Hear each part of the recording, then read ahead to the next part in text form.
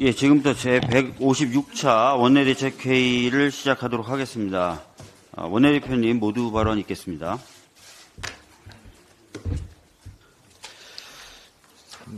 네, 오늘은 12.12 군사반란이 일어난 날입니다.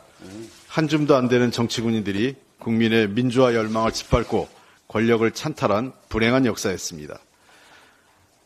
다음에 1980년 5월 강주에서 수많은 시민들이 피를 흘렸고 44년이 지난 지금까지도 군사 반란이 남긴 상처와 아픔을 여전히 치유되지 않고 있습니다. 영화 서울의 봄이 700만 관객을 넘겼습니다. 많은 분들이 영화를 통해 국민들이 독재 권력과 싸우면서 지켜온 민주주의의 소중함을 다시 한번 인식하고 있습니다. 더불어민주당은 역사가 잠시 후퇴하는 것 같아도 결국은 앞으로 간다는 믿음으로 민주주의와 역사의 퇴행을 막는데 국민과 함께하겠습니다. 임시국회가 시작됐습니다. 하루빨리 예산을 통과시켜야 하는데 정작 서둘러야 하는 정부 여당은 대통령 해외 순방 후인 20일에 본회의를 열자고 했습니다. 민주당은 대승적으로 수용했습니다. 윤석열 대통령이 만나러 간 네덜란드 총리는 연정 붕괴로 정계 은퇴를 선언해 곧 물러날 예정인데 실효성 없는 회담을 위해 혈세를 쓰면서 회의를 나간 것 아닌지 묻고 싶습니다.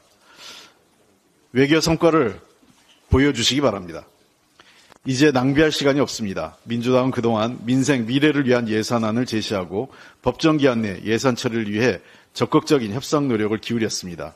그러나 기재부총리는 예산은 나몰라라 해외에 나가고 여당은 대통령실 지침에 옴짝달싹 못하면서 협상 회피에 급급했습니다. 국민에게 약속한 시일 내에 예산안을 합의 처리해야 합니다. 대통령실은 과도한 간섭을 하지 말아야 합니다.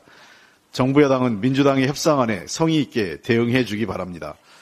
그렇지 않고 거듭 국회 예산 심의 동의권을 무시하는 무성의한 태도로 합의가 되지 않으면 20일 본회의에서 통과될 예산안은 민주당의 수정안일 수밖에 없습니다.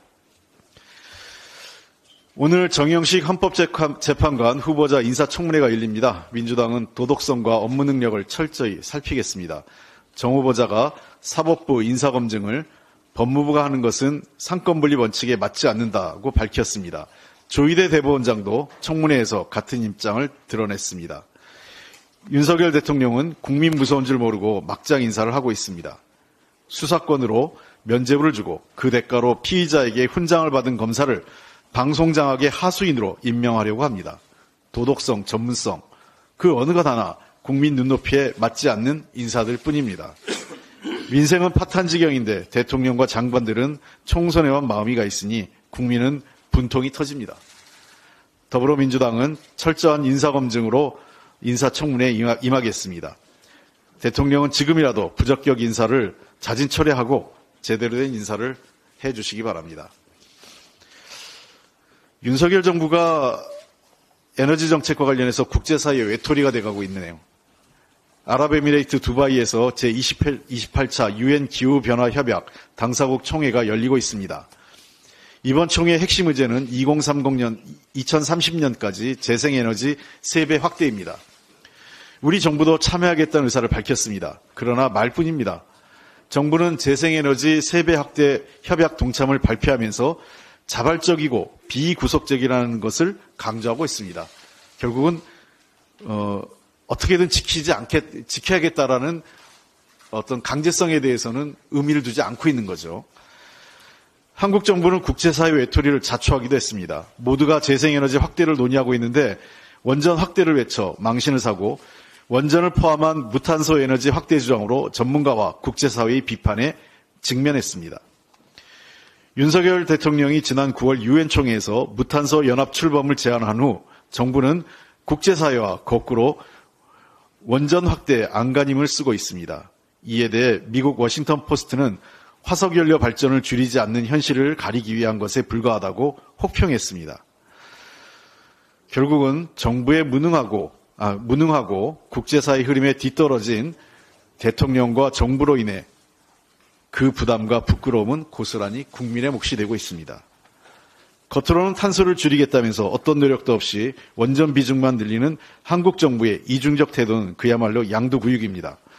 한국의 경제 규모와 국제적 위상에 비추어도 부끄러운 일입니다.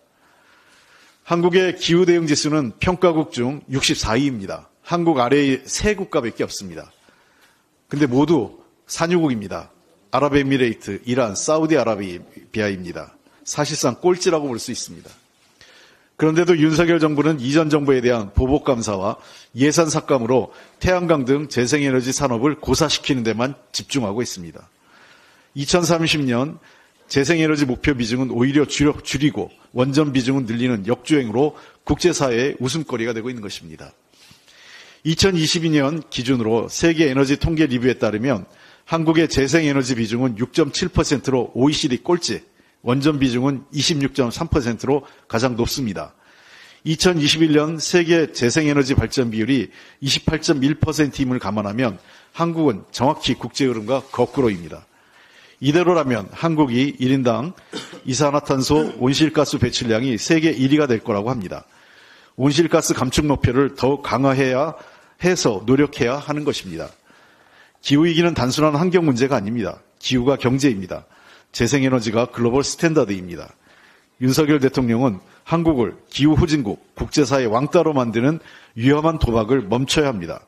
한국이 국제사회 기후위기 대응과 미래 경제를 주도하기 위한 특단의 노력과 정의로운 전환 노력을 기울여야 합니다. 윤석열 정부와 정부의 각성을 촉구합니다. 예, 다음은 정책위 의장님 말씀 있겠습니다. 네. 오늘부터 어, 중점적으로 처리해야 할 핵심 법안을 논의하는 2 플러스 2 어, 협의체가 본격 가동이 됩니다. 어, 우리 더불어민주당과 어, 국민의 힘이 각각 준비한 중점 법안 10개씩을 협상 테이블에 올려놓고 심도 있게 논의를 해나갈 예정입니다. 어, 우리 더불어민주당은 오직 민생을 위한 협상을 하도록 하겠습니다. 민생 중심, 에또 민생을 위한 그러한 법안 통과를 위해서 최선을 다할 것을 국민들께 약속을 드립니다. 민생은 민주당입니다. 윤석열 대통령은 지난 6월 공교육 과정에서 다루지 않는 킬러 문항이 사교육을 불러일으킨다면서 2024년 수능에서 킬러 문항의 출제를 배제를 하겠다. 그렇게 해서 공교육을 강화하고 사교육을 줄이겠다고 어, 공언을 했습니다. 그렇지만 올 수능을 치른 수험생들 그리고 입시 지도 교사들 사이에서는 과연 킬러 문항이 없어진 것인지에 대한 의구심을 갖고 있습니다. 또한 과연 정부가 사교육을 줄이겠다는 의지가 진심이었는지 이에 대해서도 근본적인 의구심을 지우지 않고 있습니다. 올해 수능 수학 영역 46개 문항 중 6개 문항이 고교 교육 과정 범위와 수준을 벗어나서 출제가 되었다고 분석이 되고 있습니다. 특히 전문가들은 고난도 킬러라고 지목되는 수학 공통 과목 22번 문항이 대학 과정에서 다루는 함수 방정식에 준하는 부등식을 제시했다. 이렇게 말을 하고 있습니다. 수험생들 사이에서는 바이든을 날리면으로 해석하는 것처럼 교육부도 킬러 문항을 킬러 문항이라고 말하지 못하는 홍길, 홍길동 같은 일에 대해서 비아냥을 하고 있는 것입니다. 또한 수능의 전 과목 만점자와 표준 점수 최고 득점자가 모두 의대 입시에서 두드러진 성과를 냈다고 알려진 학원 수강 경험이 있는 재수생이라는 점도 우리는 주목을 해야 합니다.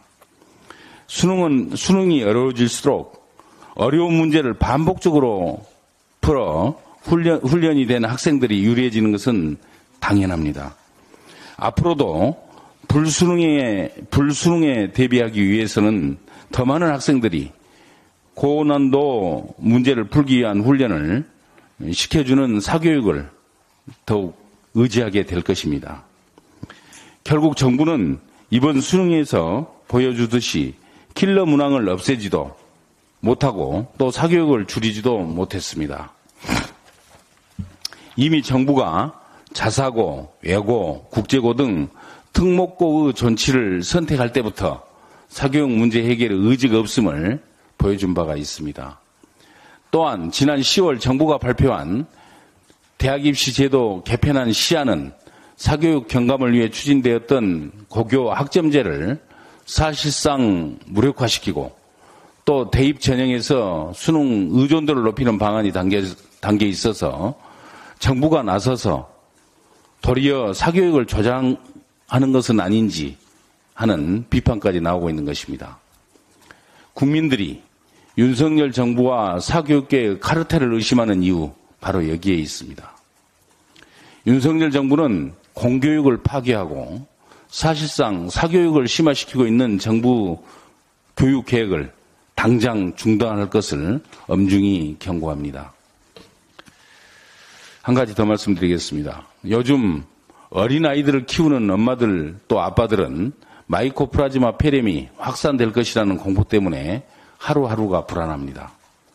불안의 원인은 정부의 아니라고 무책임한 태도와 또 정부의 방역 무능 때문입니다.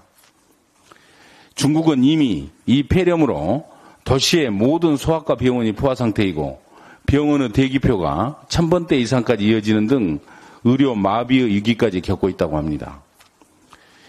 이를 지켜보는 부모들은 소아과 오픈런 현상조차 개선하지 못하고 있는 현 정부가 우리 아이들을 폐렴, 폐렴 확산의 위기에서 과연 구할 수 있는 것인지 걱정, 걱정을 하고 있습니다.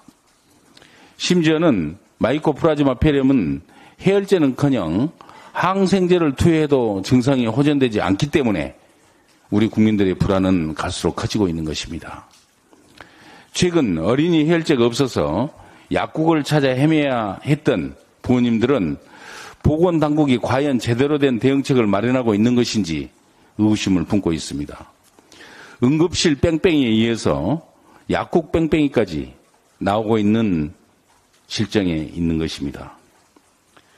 정부는 보건당국의 무능이 모든 영역에서 국민 불안으로 확산되고 있음을 무겁게 받아들여야 합니다. 더 이상 폐렴이 확산되지 않도록 현황을 면밀히 파악하고 또 적극적인 대응책을 마련해야 할 것입니다. 아울러서 치료제를 포함한 의약용품과 방역제품 비축 현황을 즉시 점검하고 충분한 의료진을 확보해서 수학과 진로 대란의 우려를 불, 불식시킬 수 있는 조치를 즉시 시행해야 합니다. 이상입니다. 예, 다음은 홍성국 경제브리핑 시간입니다. 안녕하세요. 경제특보 경제브리핑입니다. 어제 중소기업 중앙회에서 500개 기업, 중소기업 대상으로 해서 요즘 경영이 어떤가 하고서 설문조사한 결과가 나왔습니다. 그래서 올해 현재 어떻습니까 했더니 어렵다가 50% 정도, 어렵지 않다는 불과 18%에 불과했습니다. 그러면 내년에 정부는 뭘 해야 될까라고 질문했더니 무려 복숭답이긴 하지만 64.6%가 금융비용 부담 완화해야 된다. 그 다음에 이제 그 주, 어, 노동 어, 인력난이 굉장히 어렵기 때문에 인력난을 보완해야 된다. R&D 투자를 지원해야 된다. 팔로매 수출, 불공정 거래 개선. 민주당이 전부 다 주장하는 정책들입니다. 민주당이 경제 정책, 중소기업 정책들을 내놓는 것은 이러한 어떤 사회적인 욕구에 맞춰서 어, 내는 것입니다. 그래서 이거 하나만 보더라도 지금 우리 경제 또 중소기업이 얼마나 어렵고 어떤 정책이 필요한지는 어, 나온다고 볼 수 있습니다. 근데 중소기업들이 왜 이렇게 금융 부담을 많이 어, 하냐면은 이 코로나 국면에서 중소기업의 대출이 굉장히 많이 늘어서 지금 천조를 돌파한 상태입니다. 그리고 연체율도 굉장히 많이 올라가고 있는 게 아, 현재의 아, 상황인데요. 요걸 다르게 그리면 이렇게 나옵니다. 아, 코로나가 한창 진행했던 2021년 3분기에 어, 평균 대출 금리가 한 3%, 3, 4%다 미만에 있었어요. 2022년 오면은 5, 6% 정도 뭐 바뀌었고요. 어, 지금도 5%가 넘는 상태로 유지됩니다. 그러니까 코로나 국면에서 금리를 굉장히 낮게 가져갔다가 아, 특히 2022년 10월부터 금리가 5% 이상을 높으니까 이자 부담만 무려 2% 포인트 정도 올라갔다는 게 누가 보더라도 눈에 확 보이는 거 상황인 겁니다. 이 금액이 얼마냐면 기업 부채 한 2,500조니까 2,500조에 2% 포인트 약 50조 이자, 이자 부담이 이미 1년 전부터 계속 해오고 있는 거고 앞으로도 예상이 된다라고 하는 것이 우리나라 중소기업의 현재의 상황으로 보시면 됩니다. 또 한 가지 심의 유관님 좀 말씀드리고 싶습니다. 이번에 경제수석으로 어, 취- 어, 취임하신 분이 가계 비치를 80%로 줄여야 된다라고 했습니다. 그러면 20% 포인트를 지금 100이니까 줄이게 되면 약 400조 원의 가계 부채를 줄여야 된다는 거예요.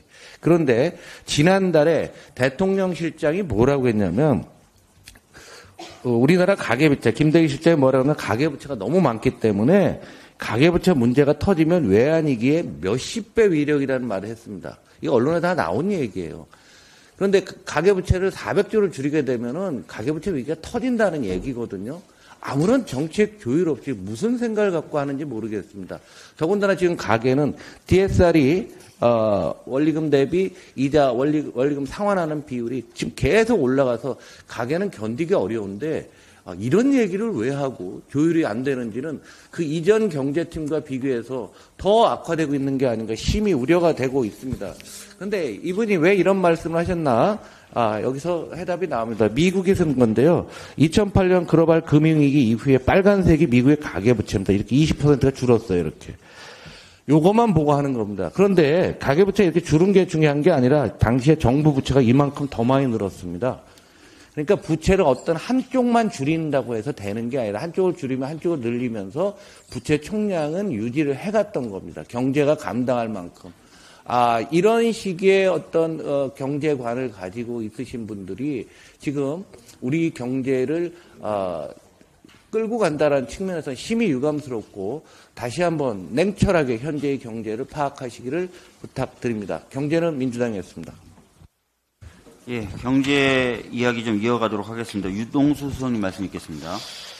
예, 지난 4일 기준으로 서울 아파트 매매 가격이 0.01% 내려서 지난 5월 셋째 주 0.01% 내린 이후로 29주 만에 하락으로 이렇게 전환됐습니다. 특히 강남구 서초구의 핵심지에서도 하락세가 이어지고 있어서 지금 우리 홍성국 의원님 말씀하셨지만 우리 경제의 뇌관이 가계부채와 기업 쪽에서 보면은 부동산 PF가 경제의 뇌관으로 작동하는데 최근에 부동산 가격의 하락은 이런 리스크를 더욱 키울 걸로 예, 예상이 됩니다. 그래서 오늘은 예, 부동산 PF에 대해서 말씀드리겠습니다. 부동산 PF 대출 잔액과 연체율이 또 올랐습니다. 어제 금융위가 금융시장 현안 점검 소통 회의를 열고 금융시, 금융시장의 잠재적 위험 요인을 점검했습니다. 그중 부동산 PF 대출 잔액과 연체율이 여전히 증가하고 있는 것이 확인됐습니다. 금융권의 부동산 PF 대출 잔액은 지난 9월 말 기준 134조 3천억 원으로 6월 말 133조 1천억 원에 비교해서 1조 2천억 원 늘었습니다. 연체율도 6월 말 2.17%에서 9월 말 2.42%로 0.24% 0.24%포인트 상승했습니다. 0.17였던 작년 말 비교해서 1.23%포인트 오른 것입니다. 특히 증권사의 PF 대출 연체율은 13.85%로 저축은행 5.56, 상호금융 4.18% 등에 비해서 매우 높았습니다. 정부는 부동산 PF 연체율 상승이 일부 대규모 사업장 연체가 반영된 결과라며 상호 금융권 자본과 충당금 적립 규모 등을 감안할 때 업권 전반의 건전성 리스크로 번질 가능성은 작다라고 얘기합니다. 또한 정부는 지난 9월 발표한 주택 공급 활성화 대책의 일환으로 12개 사업장의 부동산 PF 대출 보, 보증 등에 1조 6천억을 오늘 투입하는 등 리스크 관리에 나섰습니다. 또한 대주단 협약 적용 187개 사업장, 사업장 중에서 152개 사업장에서 이자 유예, 만기 연장 등 금융 지원이 이루어졌습니다. 그럼에도 불구하고 부동산 PF의 불신은 여전히 살아있습니다. 국내 신용평가사 등 부동산 PF 리스크 확대를 이유로 기업, 증권사 및 건설사의 신용도를 하향했습니다. 최근 한 달 사이에 기업 전망이 하락한 12개 기업 중에서 하향 조정 사유에 부동산 PF 리스크 확대를 든 것이 5개에 달합니다. 최근 부동산 PF 대출은 부퍼오른 풍선과 같습니다. 한 번에 터지지 않도록 조심스럽게 바람을 빼야 합니다. 정부는 정상 사업장에는 자금이 원활히 공급되도록 하여 주택 공급을 안정화하되 정상화가 어려운 부실 사업장은 하루속히 정리해야 합니다. 무엇보다 최근 주택 시장의 움직임이 심상치 않습니다. 아까 말씀드린 대로 한국 부동산원이 조사한 전국 주간 아파트 동향을 보면은 에, 서울 아파트 매매 가격은 0.01% 내리고 특히 무엇보다도 강남구, 서초구 등 핵심 지역이 하락세로 나타났습니다. 우리 국민은 부동산 PF로 인한 저축은행 사태를 또렷이 기억하고 있습니다. 이런 충격이 다시 되풀이돼서는 안 됩니다. 정부는 부동산 PF가 관리 가능한, 가능하다는 태, 태평한 낙관만 하지 말고 금융업권의 부동산 PF 손실 흡수 여력을 확충하는 등 만반의 대비를 해야 할 것입니다. 이상입니다. 네, 다음은 어, 요소수 사태 등에 대한 강준영 부대표님의 말씀 듣도록 하겠습니다. 여기 계시구나. 네, 오늘 국회 기획재정위원회는 전체회의를 열고 최상목 기재부 장관 겸 경제부총리 후보자 인사청문 계획을 채택, 다음 주 인사청문회를 진행합니다.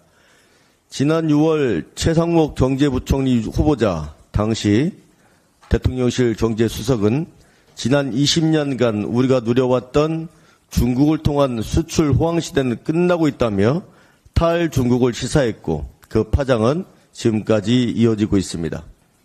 후보자는 최근 한 기자회견에서 중국 대안 시장이 필요하고 또 다변화가 필요한 그런 실정이라고 해명했는데 그렇다면 지난 1년 반 동안 경제 수석으로서 무엇을 대변한 것입니까?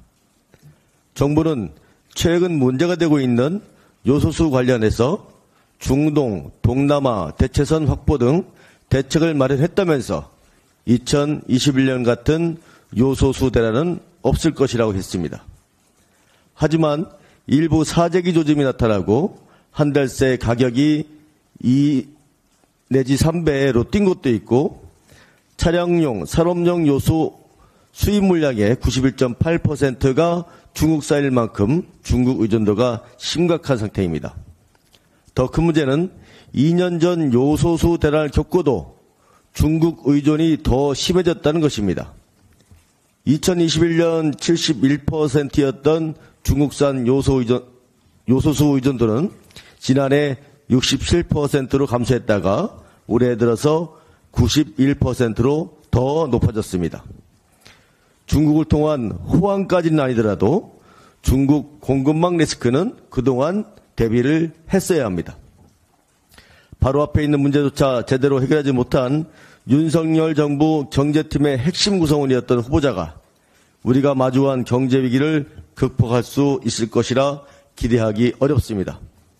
후보자는 이번 청문회에서 저출산, 고령화, 양극화 불평등, 수도권 초집중, 지방 소멸, 잠재 성장률 하락 등 국가적 위기를 극복하고 성장하기 위한 근본적인 대책을 국민께 제시해야 합니다. 이상입니다. 다음은 문진석 부대표님 말씀 듣도록 하겠습니다. 예, 최근 에스컬레이터 역주행 사고가 반복되고 있습니다. 지난 6월 분당선 순회역에 이어 지난 4일에는 경복궁역에서도 비슷한 사고가 발생했습니다. 어, 저는 올해 국정감사에서 에스컬레이터 정기점검 결과 아, 조건부 합격 이후의 보안 조치를 현장에서 직접 확인하지 않는 문제점을 지적한 바 있습니다. 어, 점검 이전에 찍었던 사진을 증빙 자료로 인정해 아, 최종 합격 처리했던 사실도 밝혀냈습니다.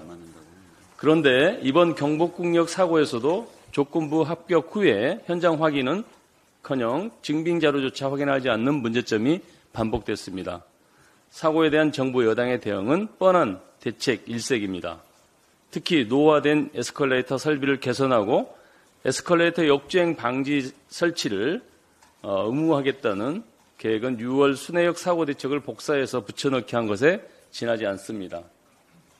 에스컬레이터 역주행 사고는 장비의 탓도 제도의 탓도 아닙니다. 규정과 상식에 맞게 점검하고 안전 컨트롤 타워가 올바르게 작동해 부실 점검 관행을 사전에 수정했다면 어, 되풀이되지 않았을 것입니다. 이태원 참사를 비롯해 각종 안전사고를 반복하고 있는 윤석열 정부는 어, 제발 어, 깨닫기 바랍니다. 국민 안전 역주행을 근본적으로 막을 수 있는 출발점은 국민 안전에 무감각하고 무책임한 안전 컨트롤 타워를 고치는 것. 다시 말해 국민 안전의 책임자인 행정안전부 장관을 교체하는 것입니다. 어, 윤석열 정부 추가 개각 전망이 나오고 있습니다. 아, 추, 아, 취임 3개월 된 박문규 산업통상자원부 장관이 대통령실과 여당으로부터 총선 출마를 권유받았고 취임 5개월 된 장미란 문화체육관광부 2차관도 총선에 출마할 것이란 얘기가 나오고 있습니다.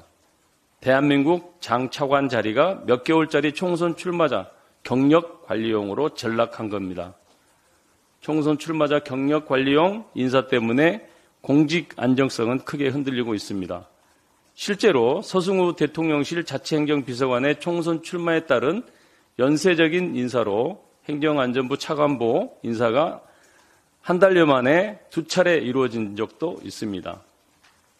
김홍일 국민권익위원회 위원장이 5개월 만에 차기 방송통신위원장 후보로 지명되고 오영주 외교부 2차관을 5개월 만에 중소벤처기업부 장관 후보로 지명한 것은 업무에 대한 최소한의 전문성은커녕 국민을 무시한 돌려막기 인사입니다. 국정 운영의 핵심인 고위공직자 자리를 깃털보다 가볍게 여기는 대통령의 인식을 질타하지 않을 수 없습니다. 공직의 가치와 무게를 전혀 모르는 대통령의 인사를 지켜보면서 남은 3년 동안 국가의 안전과 국정 운영이 얼마나 더 악화될지 우려스럽습니다. 대통령께서는 정파적 이익이 아니라 국가의 이익과 민생 안전을 최우선으로 하는 책임 있는 리더십을 보여주시기를 요구합니다. 이상입니다. 예, 저도 한 3분 정도 말씀을 드리도록 하겠습니다. 최근에 경찰에 대해서 초과 근무 자제령이 내려왔다. 뭐 이런 얘기들 들어보셨을 겁니다. 그래서 국민분들이 아, 과연 그러면 우리 안전이 제대로 지켜질 수 있느냐라고 걱정을 많이 하셨습니다. 비록 어, 초과 근무해도 수당을 못 받는 일은 없도록 하겠다라고 다시 경찰이 수습에 나섰지만 범죄에 대한 수사, 특히 뭐 마약 범죄 이런 것들에 대한 엄단 이런 것들을 강조해왔던 정부로서는 참 보기 힘든 또 보여줘서는 안 되는 그런 장면을 연출한 것 같습니다. 아, 항상 저희가 말 따로 행동 따로라고 비판을 하는데 말이라는 것만 가지고 정책이 집행되는 거 아닙니다. 예산이 있어야 되고 제도가 있어야 됩니다. 아, 정부가 좀 너무 어설퍼, 어설퍼 보이고 말과 행동이 다른 모습들을 계속 보여주는 점에 대해서 심히 유감스럽다는 말씀 드리겠습니다. 비슷한 취지의 최근에 한 언론사 칼럼이 있어서 잠깐 읽어드리도록 하겠습니다. 이 언론사는 뭐 제가 보기에는 우리 당과 그렇게 가깝지 않은데 저희들이 하고 싶은 말을 좀 시원하게 해준 것 같아서 좀 읽어드리도록 하겠습니다. 뭐 강서구청장 보궐선거나 엑스포 유치에 대해서 계속 오판이 나왔었다, 대통령실에 오판이 나왔었다는 그런 어, 것의 연속선상의 글인데요. 오판은 또 다른 오판을 부른다. 그래서 궁금하다. 대통령의 재계 총수 떡볶이 먹방 이벤트는 누가 기획한 건가? 생사의 전쟁을 치르는 재벌 총수들을 해외 순방마다 도, 수행하게 하고 엑스포 유치 지원에 투입하는 것을 두고 관폐 논란이 일고 있음을 진짜 몰랐던 건지 알고도 뭉갠 건지 지금 떡볶이 이벤트 할 때 아니다 라는 고언을 아무도 하지 않은 건지 안 된다고 했는데도 밀어붙인 건지 알 수 없다. 대통령이 재벌 총수들과의 술자리를 좋아하고 흥이 나면 흥이 나면 나이 어린 재벌 총수에겐 존칭 없이 편하게 대한다는 얘기도 들린다. 누가 이런 자리를 주선하는 건가? 고개를 갸웃하게 하는 인사도 이어지고 있다. 어느 대사는 외교부 차관으로 승진한 지 4개월여 만에 경제부처 장관에 발탁됐다. 대통령이 형, 형으로 불렀다는 선배 검사는 국민권익위원장 반년 만에 업무 연관 경력이 없는 방송통신위원장 자리에 지명됐다. 소년 가장, 석박지 얘기까지 곁들여서 장관으로 옮긴 지 석 달도 채 안 된 사람을 총선에 내보내려 한다는 얘기도 나온다. 민심과 동떨어진 여러 일들이 반복되는 걸 보면 국정 gate keeping 시스템에 문제가 있다고 할 수밖에 없다. 그리고 좀 하단에 보면 이런 얘기도 나와 있습니다. 내년 4월 총선에서 여당이 어떤 성적표를 얻- 얻을 것인지도 중요하지만 그보다 더 우려되는 것은 국가의 역량이 쇠퇴하지 않을까 하는 점이다. 이제 집권 3분의 1도 안 지났는데 인류 인재들이 국정 참여를 꺼리는 상황이 벌어지기 시작했다는 얘기도 들린다. 이런 내용들입니다. 저희가 계속 얘기하는 게 대통령실 운영 시스템에 뭔가 문제가 좀 많은 것 아니냐, 점검돼야 된다는 얘기를 했습니다. 아, 이런 부분을 저희가 점검하기 위해서 지난번에 운영위 소집을 요구했는데 제대로 되지 않았는데 이제는 보수적인 일간지에서 조차도 이런 걱정을 하고 있습니다. 아, 제발 저희 야당들의 지적을 단순한 정쟁으로 생각하지 마시고 뭐 운영위 소집 등 저희들이 점검하려는 것에 적극적으로 협조를 해줬으면 좋겠다는 말씀드리겠습니다. 이상입니다. 자, 이제 어, 회의는 마치는 것으로 하겠습니다. 감사합니다.